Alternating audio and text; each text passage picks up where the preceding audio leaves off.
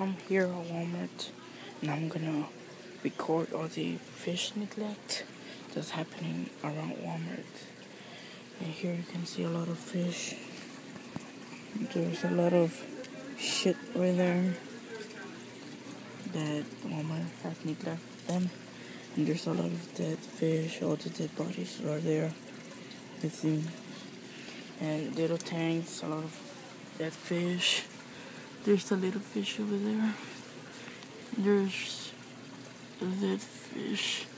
There's a lot of dead fish right there. And there's that fish. Those dead fish are right there.